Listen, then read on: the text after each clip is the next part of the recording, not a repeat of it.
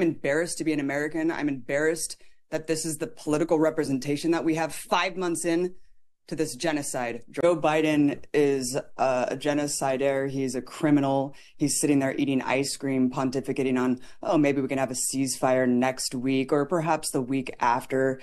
It's an abomination as 2.3 million people less now, uh, since so many scores have been killed.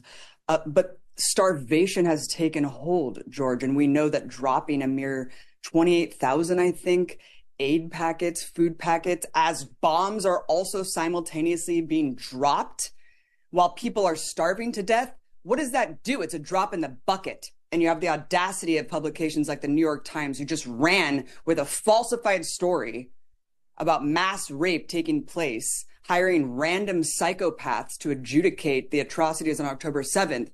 And they're writing haikus trying to talk around this nonsense on the heels of this massacre, this widespread massacre where Israeli tanks and snipers open fire on Palestinians scavenging, starving to death. George, this is what we're dealing with. It's complete moral bankruptcy from the entire world.